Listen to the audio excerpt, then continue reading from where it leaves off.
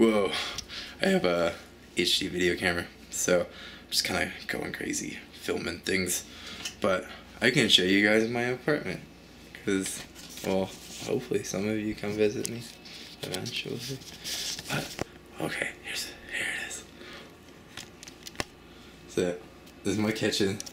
This is super small, and I had to sign a waiver that said um, I was aware that there's lead paint in the walls and uh, not to lick things. And if I do lick things and die of cancer, it's not their fault. And this is my living room, which is entirely filled with crap. And uh, I don't know. Guy, one of my sculpture teachers this semester was like, yeah, that's my robot. Uh, was like, uh, the best thing that you can learn to do as an artist is to start throwing shit away and just destroying everything that you make so that you yeah you don't really need to see the shit on my floor. But yeah so that you don't like end up with a house full of crap.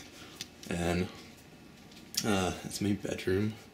Which is full of crap and things. And my my closet that's like 10 times too deep for any human being. And my super sweet bathroom which everything is purple which makes me happy yeah. Well, that actually didn't take very long since I live in a one bedroom tiny ass apartment.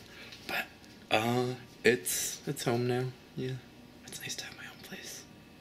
And I have yeah, internet and stuff. So yay! Talk to you soon.